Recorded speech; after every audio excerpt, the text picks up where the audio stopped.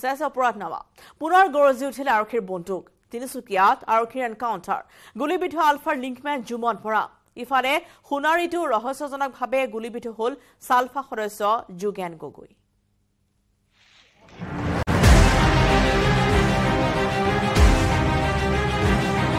তিনিচুকীয়াত আলফা স্বাধীনৰ লিংকমেনলৈ গুলী সোণাৰীত গুলীবিদ্ধ ছালফা সদস্য আহি আছে দেশৰ স্বাধীনতা দিৱস। তাৰ পূৰ্বে উজনিত আলফা স্বাধীনৰ নামত ধন দাবী আৰু বৃহৎ পৰিমাণৰ বিস্ফোৰক উদ্ধাৰৰ ঘটনা। পুনৰ আলফা স্বাধীনৰ কুটাঘাটৰ আশংকাই খেদিছে আৰক্ষী।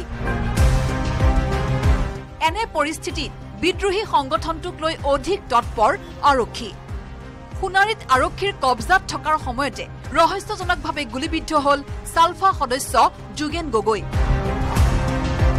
ধন দাবীৰ গোচৰত বৰহাট দফলাৰ পৰা সেনা আৰক্ষীয়ে আটক কৰিছিল আত্মসমৰ্পণকাৰী যোগেন গগৈ।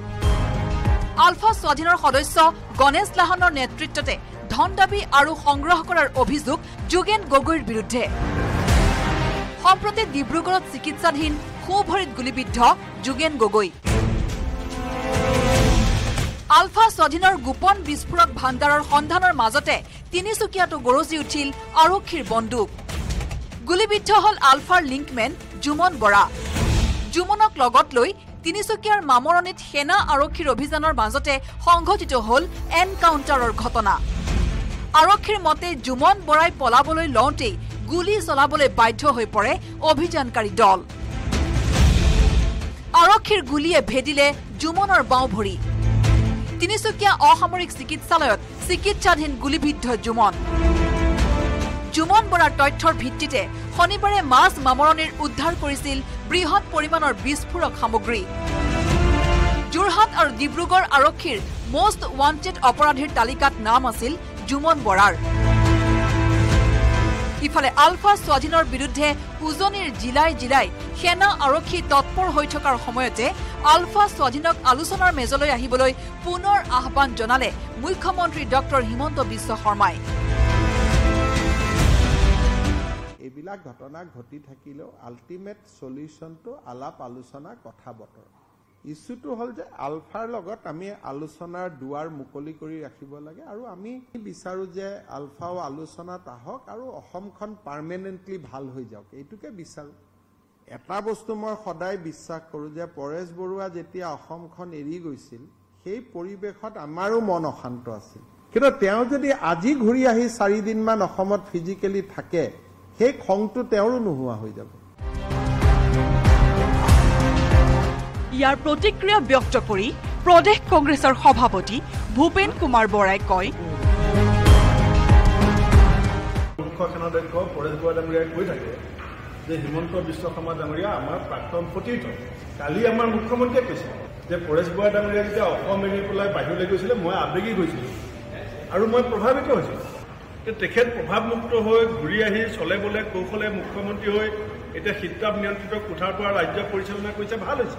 কিন্তু লগৰ সেই সতীৰ্থসকল যিসকলক তেওঁ এৰি থৈ গুচি আহিলে সেইসকলক এই বাটটোলৈ ঘূৰাই অনাৰ প্ৰয়োজনীয়তা তেখেতৰ আছেনে নহয়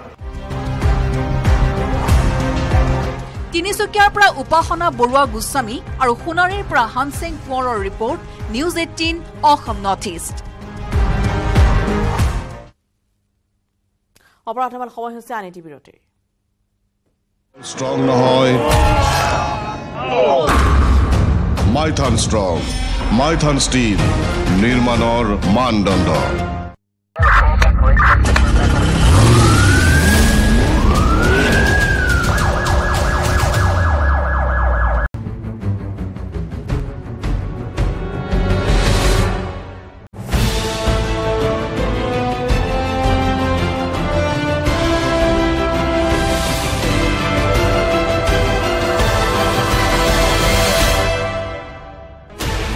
16 channels, 15 languages, 26 states, 1200 plus reporters, 67 plus crore viewers, India's largest news network, News 18 Network.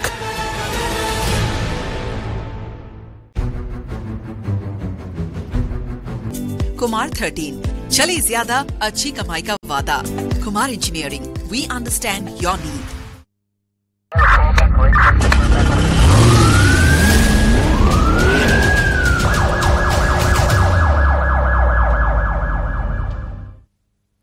চাইছে অপৰাধনামা আৰু পুনৰ উৎকোচ লৈ হাতেলোতে গ্ৰেপ্তাৰ হ'ল আৰক্ষী।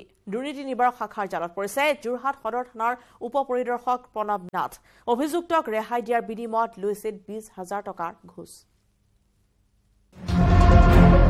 চাকৰিত সোমাইছিলহে ঘোচ খালেই। পাছে ঘোচ খাওঁতেও ভুল কৰি জালত পৰিল যোৰহাটৰ টাউন দাৰোগা প্ৰণৱ নাথ। চাকৰিত যোগ দিয়া বেছি দিন হোৱাই নাছিল। এক কথাত ক'বলৈ গ'লে ট্ৰেইনিঙৰ ভাগৰে মৰা নাছিল নাথৰ। কিন্তু প্ৰৱেশনত থকা প্ৰণৱ নাথে দায়িত্ব পাইছিল যোৰহাট টাউন দাৰোগাৰ। শিক্ষানবিচ চলি থাকোঁতেই গধুৰ দায়িত্ব পাই মূৰত ধৰিলে প্ৰণৱ নাথৰ। টকা লাগে।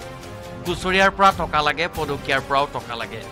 শুৱে পাৱে টকা লুটাৰ ফন্দি কৰা প্ৰণৱ নাথে গাড়ী চোৰৰ গোচৰত এজনক লেটিয়াই দাবী কৰিলে হাজাৰ হাজাৰ টকা। দাবী কৰা মতে এটা কিস্তি সৰকালে প্ৰণৱ নাথে। পাছত দ্বিতীয়টো কিস্তিৰ টকা লওঁতেই চিচিং ফাক হৈ গ'ল প্ৰণৱৰ সকলো কথা। কেনেকৈ কি হৈছিল?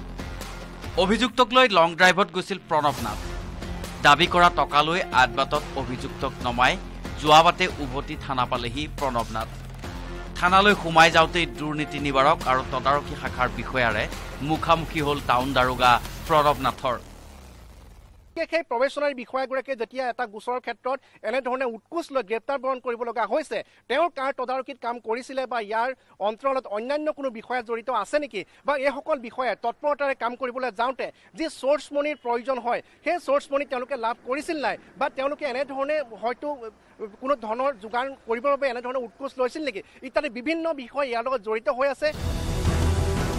দুৰ্নীতি নিবাৰক আৰু তদাৰকী শাখাৰ বিষয়াই তালাচী চলাওঁতেও ওলাই পৰিল খোজ খোৱা টকা। লগে লগে হাত দাঙিবলগীয়া হ'ল টাউন দাৰোগা প্ৰণৱ নাথে। ট্ৰেইনিঙৰ ভাগৰ নামাৰোতেই ঘোচ খাই হাত টঙা প্ৰণৱ নাথৰ কাণ্ডই উদঙাইছে যোৰহাটৰ শীৰ্ষ আৰক্ষীৰ কাণ্ড কাৰখানা। প্ৰশ্ন হয় প্ৰৱেশনত থকা প্ৰণৱক কেনেকৈ টাউন দাৰোগাৰ দৰে গুৰুত্বপূৰ্ণ দায়িত্ব দিছিল যোৰহাটৰ আৰক্ষী অধীক্ষক মোহনলাল মীনাই।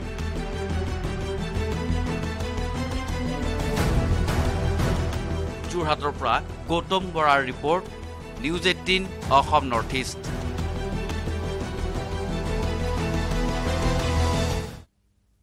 সমস্যা অপৰাধনামাৰ পৰা বিদায় লোৱাৰ।